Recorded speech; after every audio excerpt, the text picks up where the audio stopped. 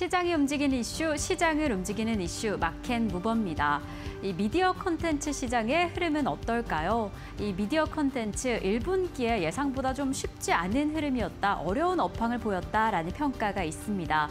그래서 이 시점에서는 활동이나 실적 모멘텀에 집중해야 한다. 그리고 실적과 활동 모멘텀 측면에서 2분기를 대응해야 한다라는 이야기가 나오고 있습니다.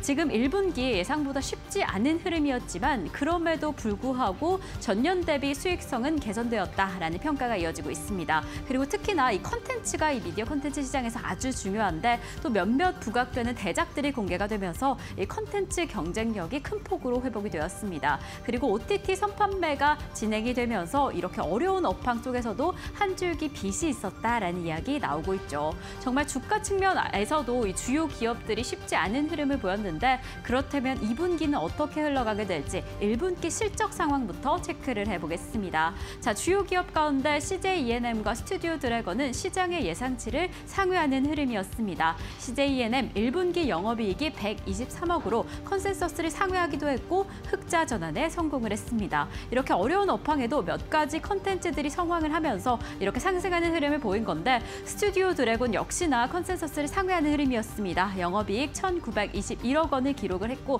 특히나 이 스튜디오 드래곤 같은 경우에는 비용 효율화를 통해서 수익성을 큰 폭으로 개선했다라는 평가가 나오고 있습니다. 이 콘텐트리 중앙 같은 경우에는 영업 손실이 좀 발생을 했지만 그래도 이 정도는 시장의 예상치 컨센서스를 부합하는 측면이다라는 평가가 나오고 있고요. 특히나 이 동사 같은 경우에는 공간 사업이 호조를 하고 그러면서 이제 상저하고의 측면에서 이 저점을 찍고 상승하지 않을까라는 이 상승세 그리고 기대감이 유독 더 보여지고 있는 상황입니다. 지금 이렇게 국내 컨텐츠 관련주에도 영향을 주는 것이 글로벌 OTT 업계일 텐데 이 글로벌 OTT 넷플릭스와 디즈니 같은 경우에서 이 수익성이 크게 개선됐다 해서 컨텐츠 시장이 이제 하반기에는 좀 더 나아지지 않을까라는 기대감이 보이고 있습니다.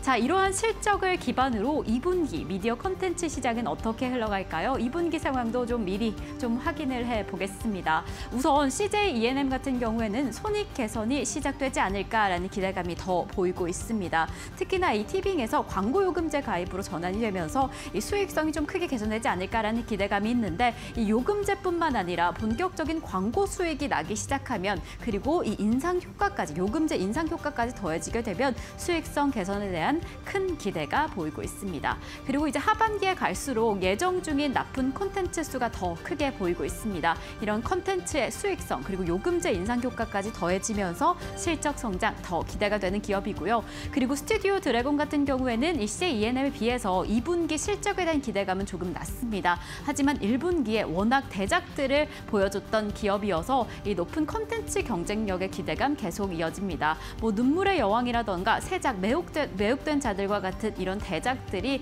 2분기에는 또 어떠한 추세로 이어지게 될지 그 컨텐츠에 대한 경쟁력 계속 체크해 보시면 좋을 것 같고 이런 컨텐츠들 해외로도 쭉쭉 뻗어나갈 예정이다라고 합니다. 해외 전략 판매로 확실히 어떻게 기업의 수익성을 방어하게 될지 체크해 보시면 좋을 것 같고 컨센트리 콘텐트리 중앙 같은 경우에는 실적 기대감이 CJ E&M에 비해서 조금 낮은 상황이지만 그래도 해외 시장 안에서 글로벌 시장 안에서의 확장성은 계속 기대가 됩니다. 예, 아까 전에 이 공간 사업에 대한 실적이 좀 기대가 된다라는 말씀을 드렸는데 특히나 영화 투자나 배급에 대한 개선도 함께 덧붙여지고 있고 최근에 워낙 화제가 되고 있는 천만 관객 돌파한 이 범죄도시 4 흥행으로 인해서 이 2분기 매출 성장 그리고 이로 인한 수익성 기대도 기대가 됩니다. 이렇게 주요 기업들 2분기의 실적 어떻게 개선할 수 있을지 컨텐츠 미디어 업계 어떻게 이어갈 수 있을지 저희와 함께 체크해 보시면 좋을 것 같습니다.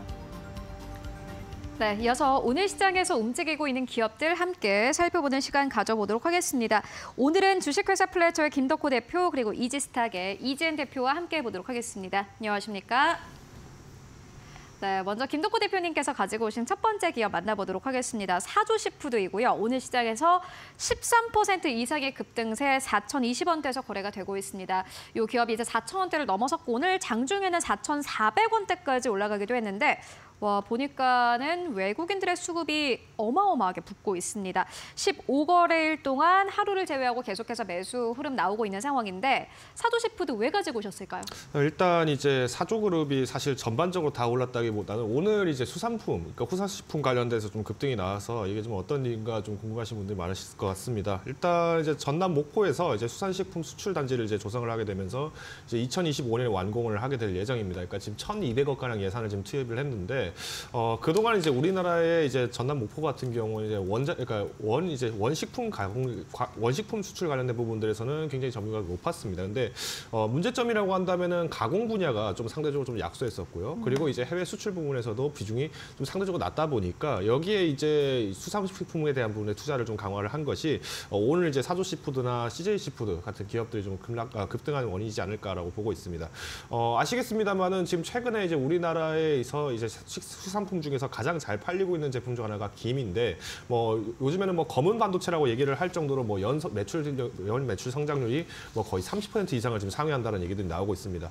실제로 이 사조시푸드 같은 경우에도 김 수출을 굉장히 좀 탄탄하게 잡고 있는 기업인데 뭐 지금 아직까지는 이 사조 시푸드가 갖고 있는 전체 매출 포지션에서 그래도 횟감용 참치 비중이 그래도 약 60% 정도 됩니다. 그러니까 정확한 수치가 이번 1분기 기준으로 58.8%인데 어, 여기서 또 재밌는 사실이 이 사조 시푸드가 이 횟감용 참치를 들여올 때는 거래를 할 때 기준이 엔화 가격 엔화 가격 기준입니다. 그러니까 최근에 지금 엔화 가격도 워낙 많이 급락을 한 상태다 보니까 오히려 지금 이렇게 횟감용 참치가 매출이 많이 올라간다 그러면 사조시푸드 입장에서는 마진율이 꽤 높게 좀 좋은 영업이익률을 달성할 수 있다라는 특징이 좀 있습니다.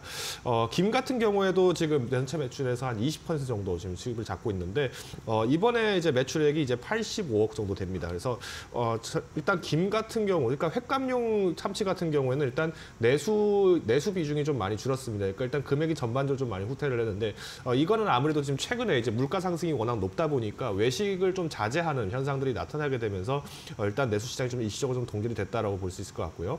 어, 반면에 김 같은 경우에는 해외 수출이 그래도 전년 대비했을 때 기준으로 한다면은 어, 분기별로 나눴을 때 그래도 어, 상당 부분 많이 성장을 했다는 점이 특징입니다. 어, 저는 일단 이 CJ 시푸드를 비롯해서 지금 식품주들이 사실은 굉장히 많은 압박을 받아왔었습니다.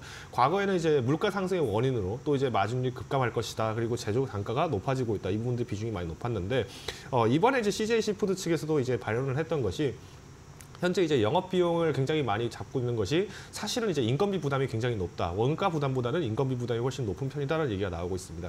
그러다 보니까 이제 지금 어, 식품주들 특히 뭐 하림이라든가 아니면 뭐 CJ 시푸드를 비롯해서 각종 많은 제품군들이 어, 좀 주가가 많이 눌려 있었습니다만은 오늘 이렇게 상승했던 부분들은 그래도 어, 일단 본격적인 수출 확대를 위해서 이제 정부에서 예산을 투입하고 있다는 점 이 부분이 이제 좀 목표다라고 좀 보실 수 있을 것 같고요.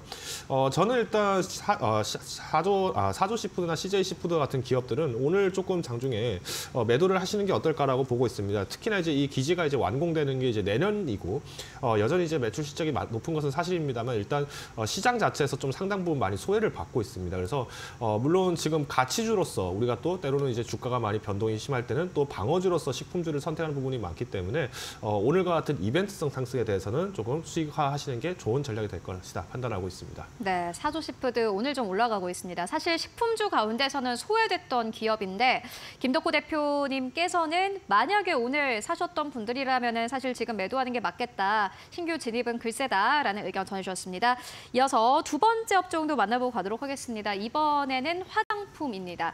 어, 이재인 대표님께서 가지고 오셨는데 계속해서 좀 화장품에 관심을 가지고 계신 것 같아요. 음. 네, 불씨가 꺼지지를 않고 그러니까요. 있는데 아. 오늘 또 한국 화장품 제조와 한국 화장품이 또 상한가를 가주면서 발표를 했더라고요. 네, 어. 매출, 영업이익, 순이익 다 좋았고요. 이치한불도 또 좋은 이제 실적을 내 보였습니다.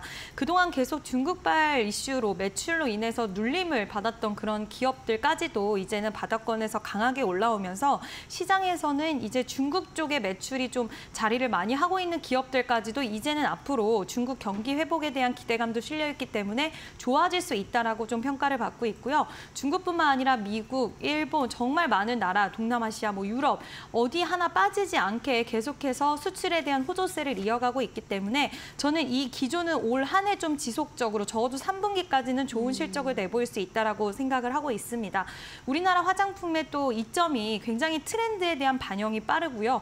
계속 말씀드리고 있지만 가성비가 진짜 뛰어나다라는 생각이 정말 드는 그런 화장품들이기 때문에 해외 쪽에서의 이런 수출은 계속 좀 될 수밖에 없는 구조다. 또 한류 열풍이 또 신한류가 시작이 됐다라고 하더라고요. 드라마가 굉장히 인기를 많이 끌고 있고 또 거기에다가 아이돌 그룹들이 해외에서도 계속해서 좀 잘 활동을 하고 있는 부분들이 또 이렇게 연결고리를 지어서 계속 좋은 모습을 나타낼 수 있게 좀 만들어주고 있다라고 볼 수가 있을 것 같고요. 지금 바닥권에서 강하게 치고 오는 종목들이 있고 또 그동안 고가권에서 계속 수익을 냈 그 수익권에 있었던 종목들, 상승세를 이어갔던 종목들은 오늘 좀 쉬어가는 모습이 나오기는 하지만 저는 끝났다라고 보지는 않고요. 오늘 좀 반도체 관련주들이 이제 뭐 기대 금리 인하에 대한 기대감이 실리면서 강세가 나왔고 그로 인해서 약간 실적 관련된 화장품 종목들은 쉬어가고 있다라고 판단을 하는데 만약에 이번에 내가 화장품주들을 하나도 공략을 못했다 하시는 분들은 분명히 기회는 계속 저는 2분기, 3분기 실적 시즌에도 계속될 거라고 생각을 하고 있기 때문에 관심 있게 보 시고 올 한 해는 좀 계속해서 기회를 포착해 보시면 어떨까라는 의견도 같이 드리고 싶습니다. 탑픽 종목 있으실까요? 어, 저는 원래는 이제 마녀공장 좀 좋게 봤는데 지난 아, 네. 네, 얘기하셨죠. 그래도 좀 덜 올랐기 때문에 네. 좋게 봤는데 VT라는 기업도 지금 니들샷이 굉장히 인기를 많이 그렇죠. 끌고 네. 있는데 오늘 살짝 쉬어가는 흐름이 나오고 음. 있습니다. 근데 1분기 때도 실적 굉장히 좋게 나왔고 아마 2분기, 3분기도 저는 실적 괜찮게 나오지 않을까. 음. 왜냐하면 일본 쪽에서 지금 일본에서 어 입소문 탄 제품이 있다라고 해서 딱 뒤집어 보면 다 Made in Korea라고 써 있다라고 어. 하더라고요. 그래서 VT가 또 일본 시장에서 굉장히 강력한 상승을 좀 이어가고 있기 때문에 저는 VT라는 기업도 살짝은 주가 흐름은 좀 부담스러우실 수는 있지만 계속 관심 있게 보셔야 되는 기업 중에 하나다라는 의견도 같이 좀 드리고 싶습니다. 네, 사실 코로나 때 생각해 보면 화장품주가 이렇게 올라가는 게 어떻게 보면 굉장히 좀 어색하다고 해야 맞아요. 될까요? 한국 화장품 제조도 그때 당시에 주가가 진짜 안 좋았었어요. 맞아요. 그런데 이제 그때 당시에 동남아 쪽에 진출을 할 거니까 괜찮다라는 의견들이 계속해서 제시가 됐었는데 이러한 부분들 좀 실적을 장기적인 시선에서 봐야 하는 이유가 이런 이유 때문이지 않을까 하는 생각이 듭니다. 또 이재현 대표님께서는 화장품주는 계속해서 기회를 줄 것이다. 왜냐하면 2분기 실적, 3분기 실적도 좋을 것이기 때문에 계속해서 보자라는 의견 전해주셨습니다. 함께 좀 정리를 해보고 가도록 하겠고요. 이어서 다음 종목은 김덕호 대표님께서 가지고 오신 SK 이터닉스입니다. 어, 오늘 시장에서 10% 가까운 상승세 2만 4천 원대에서 거래가 되고 있고 이 기업도 마찬가지로 오늘 장중에는 2만 6천 원대를 뚫어내기도 했습니다. 대표님께서는 이 기업 긍정적으로 보시는 걸까요? 네, 일단 이제 ESS 장치 쪽에서는 이제 아무래도 결국 이제 포트폴리오 좀 다각화를 하고 있는 기업이고요. 일단 이 SK 이터닉스 자체가 SK D&D에서 이제 물적 분할을 하면서 3월 29일 날 이제 재상장을 하게 된 기업입니다. 그러니까 어, SK D&D도 이제 이 거래 정지 이후에 다시 재상장을 하게 됐는데 사실 이제 신재생 에너지 부분 쪽이라고 하면 은 이 이터닉스가 갖고 있는 부분의 파이가 꽤 크다. 이 부분을 좀 말씀드릴 수 있을 것 같고요. 어, 그래도 이제 최근에 상장을 했는데도 불구하고 물적 분할을 했는데도 탄탄하게 계속 실적이 버텨주고 어, 탄탄하게 성장하고 있는 원인도 무엇인가라고 살펴본다면은 결국은 이제 고열 전지 관련된 부분에서 수급이 기대가 된다라는 겁니다. 최근에 이제 전선주들 굉장히 많이 갔던 원인들도 어, 지금 이제 AI 생성형 AI에 대한 부분에서 전력 소요들이 굉장히 커지고 여기에 실적 기대감과 이제 구리 가격에 대한 어, 주가 연동들 이 부분들이 이제 부각이 되면서 좀 거래가 활발해졌는데 어, 이타닉스 같은 경우 에는 지금 이번에 발표가 됐던 게 이제 미국의 블룸에너지. 그러니까 어, 우리가 고체 어, 고체 아, 산업 거- 고체 산업을 연료전지 관련돼서 이제 그 압도적인 강자를 갖고 있는 이 블룸에너지가 사- 이제 실리콘밸리에서 이제 대부분 이제 많은 포지션을 갖고 있습니다. 이 기업에서의 전지권을 전지 공급을 하는 것을 국내 공급권을 갖고 있는 게 SK 이터닉스다. 이런 이제 보도가 나오게 되면서 오늘 좀 상승하지 않았나 이렇게 좀 해석을 하고 있고요. 어, 실제로 이제 이 블룸에너지 같은 경우는 지금 이제 인텔이 또 역대 최대 규모의 어, 데이터 센터를 이제 짓겠다. 특히나 이제 고성능 컴퓨팅 데이터 센터를 짓겠다라고 얘기한 거에 대해서 이제 지금 착수를 한 걸로 지금 확인이 되고 있습니다. 그러니까 계약 체결을 한 바가 있기 때문에 아무래도 이제 SK 이터닉스 같은 경우에도 뭐 우리가 잘 알고 있는 국내의 많은 IT 기업들의 대상으로 이제 데이터 센터가 지어진다. 그러면 여기에 수혜를 더 받을 수 있을 것이다. 이렇게 지금 판단이 되는 것 같습니다. 연료전지 부분 쪽으로 좀 말씀을 드려도 어, 일단 신재생에서 지금 상업 운전하고 있는 게 뭐 제주 가실이라든가 울진에서 있는 어, 풍력 발전을 포함해서 지금 꽤 많은 이제 저 발전량을 지금 사업을 영위를 하고 있고요. 뭐 여기에 이제 뭐 국내 뭐 칠곡, 뭐 양목, 보은 뭐 이런 발전소 상업 운전까지 더불어서 얘기를 드린다면은 앞으로 이제 전력 소요 부분에서의 기대감은 부분은 좀 SK 이터닉스가 가져갈 가능성이 크다 이렇게 좀 말씀을 드리고 싶습니다. 어, 일단 개통 연계용 이제 ESS 사업을 지금 개발을 하고 있는데 어, 전반적으로 지금 이제 미국에도 마찬가지로 ESS 사업을 지금 진출을 한 상태이기 때문에 조금 더 주목을 하셔야 된다. 다만 어, 저는 이제 오늘 좀 상승을 했던 부분들은 이제 이제 블룸 에너지 관련된 이제 공급권이 좀 부각이 되면서 좀 이제 거래가 잠깐 일시적으로 나온 거고요. 어, 특히나 이제 지난 20일간의 거래량을 보신다 하더라도 평균 거래량 대비했을 때 어제 오늘 좀 이렇게 연일 상승한 격이 있습니다. 그래서 어, 조금 조정 이후에 접근하신 것을 권고를 드리겠습니다. 네, 알겠습니다. SK 이토닉스 같은 경우에는 전거래 일에 상한가를 기록했다가 오늘 시장에서 10% 가까운 상승을 나타내고 있는데 일단 전체적인 업황을 봤을 때도 굉장히 좋습니다. 그렇기 때문에 약간의 조정이 나온다면 은 SK 이토닉스 기회를 노려보자라는 의견으로 정리를 해보고 가도록 하겠습니다.